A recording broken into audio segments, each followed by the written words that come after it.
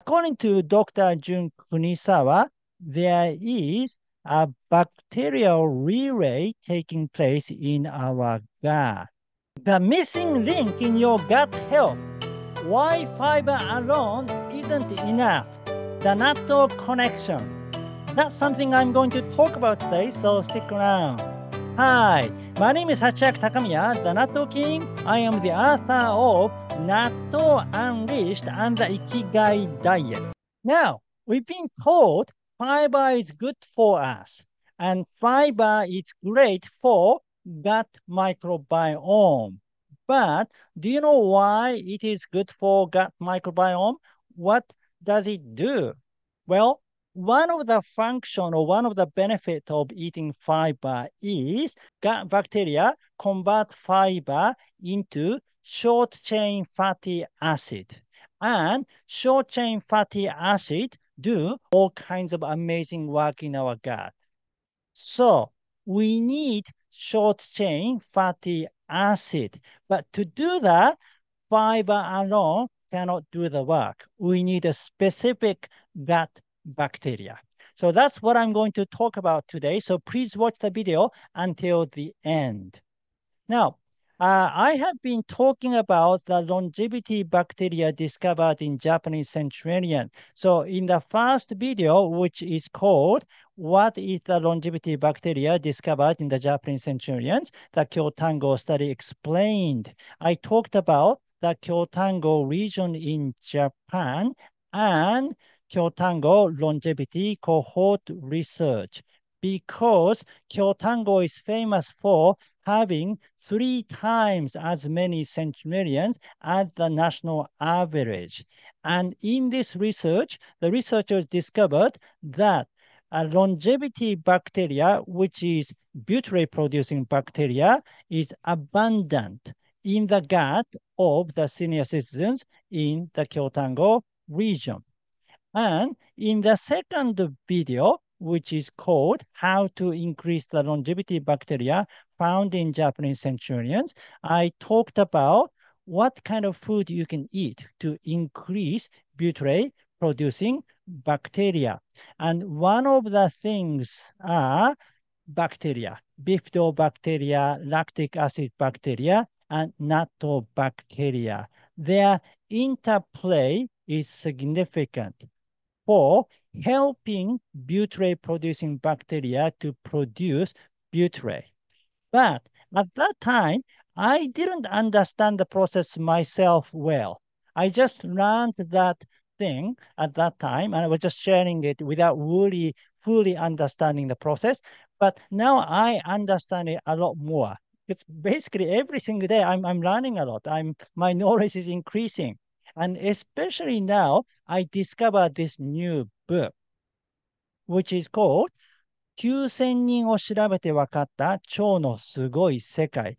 The English translation is something like The Amazing World of the Gut, discovered through research on 9,000 people.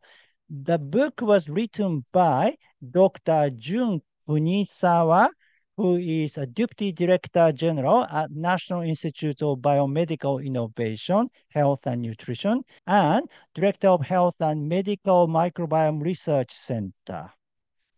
So according to Dr. Jun Kunisawa, there is a bacterial relay taking place in our gut. So, and in this relay, uh, there is the first runner and the second runner, and the third runner. The first runner are saccharifying bacteria. And natto bacteria is a well-known saccharifying bacteria. And the second runner, lactic acid bacteria and bifidobacteria, those are common in you know, food like yogurt, kimchi, sauerkraut, and so on. It's very familiar bacteria.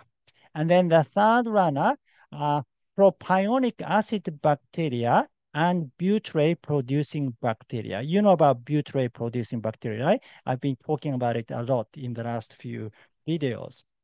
Okay, so you need all those bacteria to complete this relay. In the context of producing butyrate, we need saccharifying bacteria, bifidobacteria and butyrate producing bacteria. Okay, so first you eat food and then you have fiber and oligosaccharides. Okay, and then saccharifying bacteria, for example, natto bacteria, convert it into sugar. And then using this sugar, lactic acid bacteria produce lactic acid. And then bifidobacteria produce acetic acid. Okay, and then using the acetic acid, butyrate producing bacteria produce butyrate. And then propionic acid bacteria produces propionic acid using the lactic acid.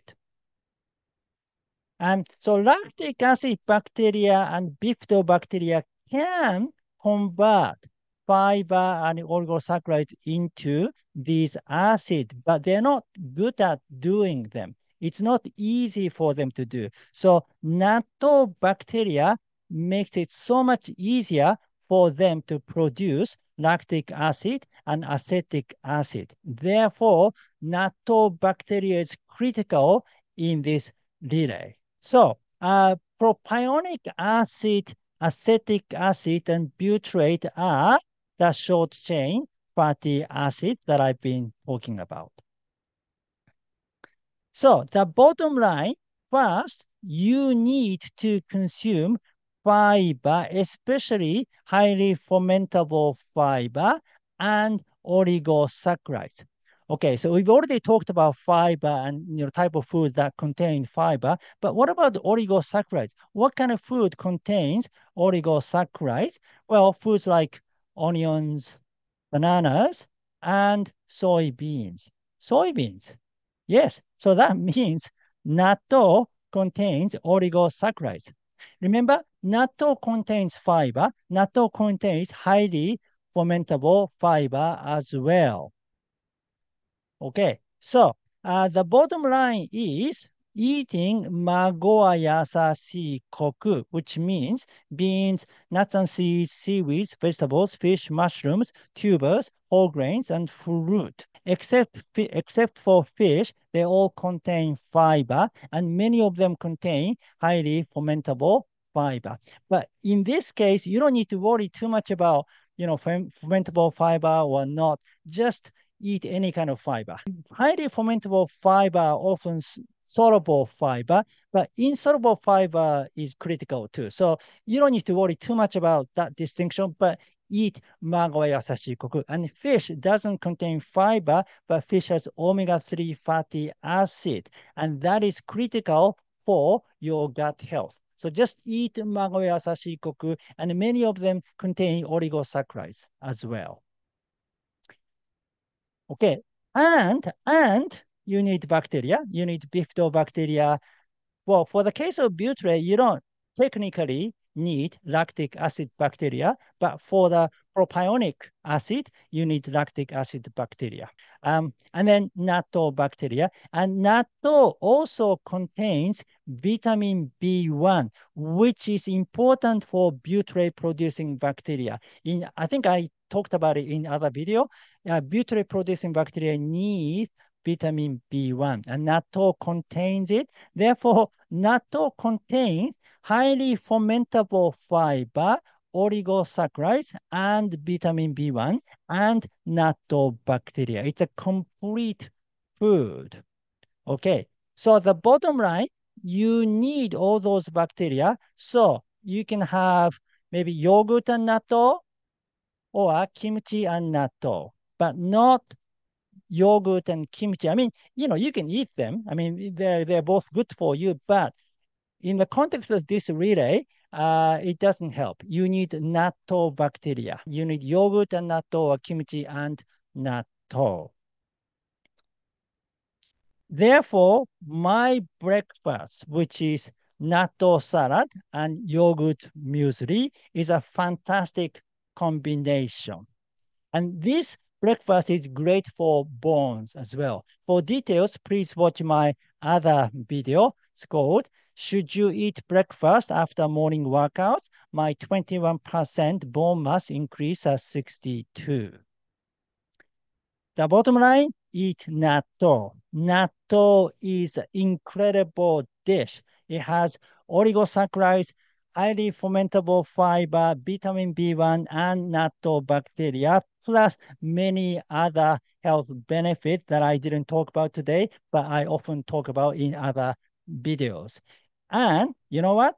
July 10th is Natto Day. So in Japanese, July is Nanagatsu and 10th is Toka. So Nanato sounds like Natto. So it is Natto Day. Therefore, you can start eating natto on July 10th.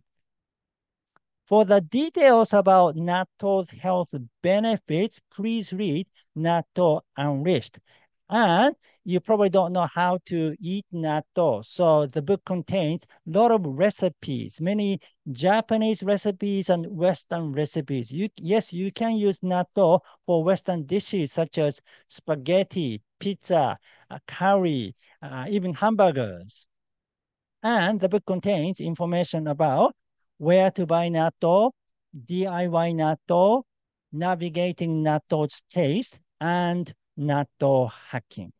Okay, that's it for today. Thank you for watching. Again, my name is Hachiaki Takamiya, the author of Natto Unleashed and the Ikigai Diet. If you like this video, please give me your thumb up and subscribe to my channel. And please leave your comment. Do you eat natto and yogurt or do you eat natto and kimchi? Thank you. Well, I will see you in the next video. Live with your Ikigai!